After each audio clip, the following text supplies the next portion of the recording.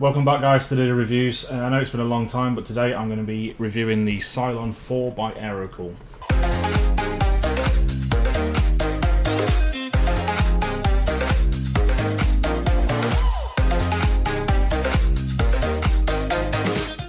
Like I say, this is the Cylon 4 by Aerocool, and this has been sent over to me by Aerocool, so a massive thank you to them.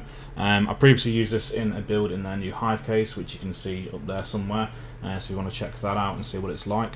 Um, now, all my testing is going to be done using that case, so the figures I have from that from that build are going to be used here. Now, let's talk about the first thing. So, the price of this at the moment can be roughly had for around 30 uh, British pounds, so probably $35, something like that in the US um, maybe thirty dollars. I don't know to be honest with you, um, but I will look into that.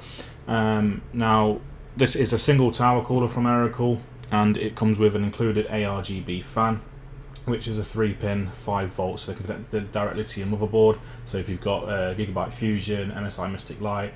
Uh, Asus Aura Sync, that type of thing, you can connect it directly to your motherboard and control it using that for the uh, for the lighting effects. Um, the fan that's on it is a PWM fan, so you control the speed of it via your motherboard as well, which is nice to see. And this uh, this cooler includes four times six millimeters heat pipes to spread that heat out and get rid of it from the fins, which are all aluminium fins. And this cooler comes with a rated TDP of 145 watts, so should be good for most CPUs at the moment. Um, I believe the Ryzen 9s are like 105 watts, so you should have no problem with this at all. This cooler also features what they call heat core touch technology, which is the four heat pipes and the way that they touch onto the CPU to provide better heat dissipation uh, for your CPU as it gets hot. The fins on it are coated in uh, black paint, so they actually look really good. They're not going to stick out like a normal aluminium fins, which are all silver.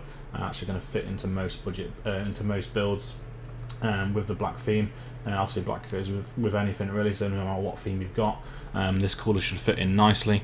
And this cooler also comes with a unidirectional flow uh, port on top of it and to enable a better heat dissipation as well from the top of the cooler as well as out the sides. Now in terms of installation this cooler is really really easy to install.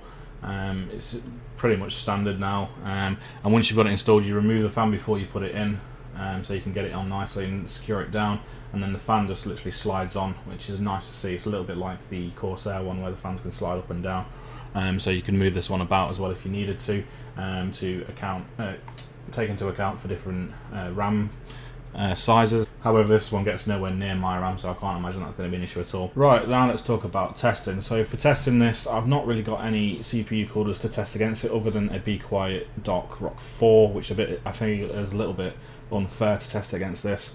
And also the results I've got from that were used in a massive Corsair 780T case, uh, which had probably double, if not triple, the amount of fans that this case has. So I believe the testing is a little bit unfair, and I don't have any of the other coolers that I used previously. Um, my liquid cooler broke, and the other coolers I borrowed off other people to test and uh, give a sort of comparison between the two. So at the moment, I'm just going to show you the results I got just with this cooler. Um, as you, you, might have already seen these in the Hive video, but this is obviously just about the cooler today. Um, so I'm literally going to show you that. So you can see sort of what you can get um, obviously, go back to my other videos for the Dark Rock 4 and have a look at see what the potentials were there. Um, but obviously, take that with a pinch of salt because those were used in a different case. And obviously, the Rock 4 is a lot more money. It's more than double the price normally. Um, so you're going to expect a higher quality of cooler. Uh, this is a budget focused cooler. Um, so for £30, you, you're getting a, a decent deal with these, really. Um, so the ambient temperature that, that was in the room at the time of testing was around 21 degrees.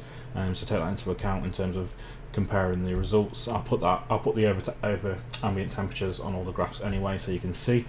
Um, now the result from 3D Mark Time Spy, um, I got an average of 48 degrees um, on the average of, of, over the run of that, um, which is pretty decent to be fair, I can't complain at all.